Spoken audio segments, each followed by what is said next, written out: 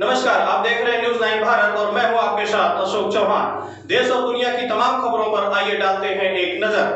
सुल्तानपुर कोतवाली नगर क्षेत्र के कृष्ण नगर से भूमाफियाओं ने बगैर अनुमति के मकान निर्माण करा रहे थे, जिसमें लगभग आधा दर्जन मजदूर काम कर रहे थे। दीवार जर्जर होने से अचानक छत गिर पड़ा, जिसमें दो मजदूर दबकर घायल हो गए। घायल मजदूरों को किसी तरह निकालकर जिला अस्पताल में इलाज के लिए भर्ती कराया गया।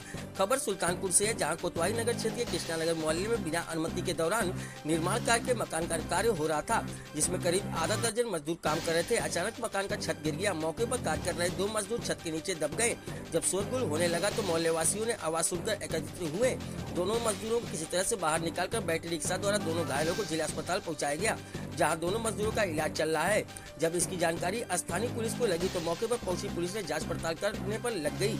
वहीं जब इस घटना की जानकारी मीडिया को मिली तो पता चला कि बगैर किसी अनुमति लिए निर्माण कार्य कराने की कोशिश की जा रही थी और निर्माण कार्य के दौरान मजदूर दब गए। वहीं जिलाधिकारी रवीश गुप्ता ने इस घटना के संबंध में कहा कि बगैर अनुमति का कार्य किया जा रहा था। तो जो लोग दोषी होंगे उनके खिलाफ कार्रवाई की जाएगी। जे एन मिश्रा की रिपोर्ट।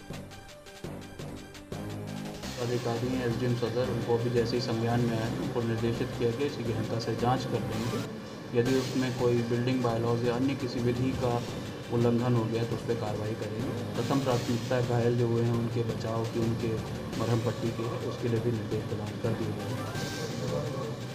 सर क्या घटना हुई है? जो दीवार गिरी है उसमें दो मरीज़ आए हुए हैं। जिसको मुँह में चोट लगी है तो टाँकाओं का चल रहा है और उनका इलाज किया जा रहा है। स्थिति कैसी है इनकी? स्थिति ठीक है ठीक है स्थिति। फट गया है मुँह पे तो वो टाँका लग रहा है।